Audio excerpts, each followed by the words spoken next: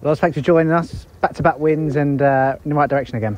Yeah, definitely. I think um, we showed on Tuesday night that you know uh, we can we can play in that style and and pick up points. I think we played really well. Um, uh, from front to back, really, I think the front three pressed really well, and I think they set the tone for everyone else to to follow them. And and I think uh, they couldn't live with us, especially in the first half. And then in the second half, we got the goals and kind of put the game to bed. Keepers always love a clean sheet too, and us two in the last four.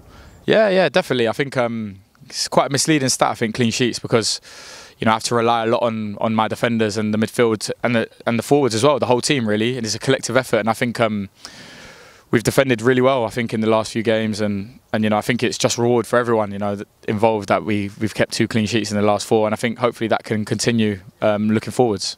Chopped and changed a bit as well that four uh, back four this season, and it seems a bit settled again now.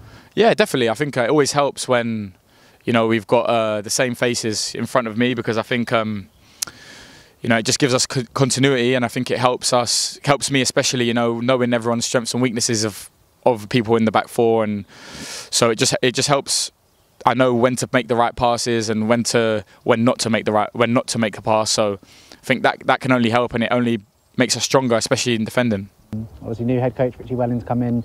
Have worked with him before. How's it been since you've been back in? Yeah, been really good. Um, his um, style of play is is fantastic. I think that's clear for everyone to see. I think, you know, um, he's a really good coach. You know, he shows us on the on the training ground what he wants us to do, and uh, I think it's bearing fruit. I think in the last four games, I think we've shown that we can.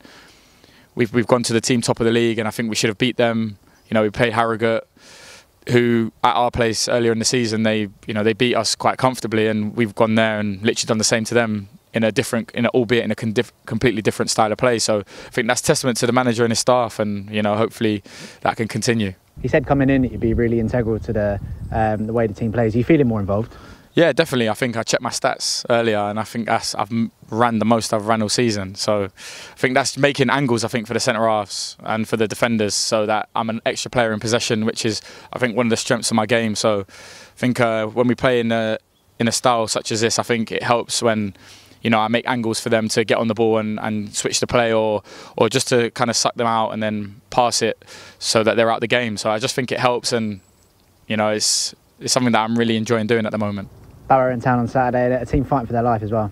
Yeah, and they, I think they've got a new manager, so it'll be a it'll be a tough game. I think um, you know every game's tough in this at this level, so hopefully we can you know get the three points and another clean sheet and just keep moving up uh, upwards in the table. Mm, it's football for a five a Saturday. We all know what it's like down at the Breyer Group Stadium when it's rocking, and hoping for another good atmosphere. Yeah, definitely. I think. Um, you know, we, we know what it's like earlier in the season, you know, when we were beating teams quite comfortably, you know, the atmosphere was fantastic. Obviously, of late recently it hasn't been as good and hopefully with the last few results we've picked up we can we can get the crowd galvanized and have them enjoying football again so I think that's all we can do on our part and hopefully the crowd can get behind us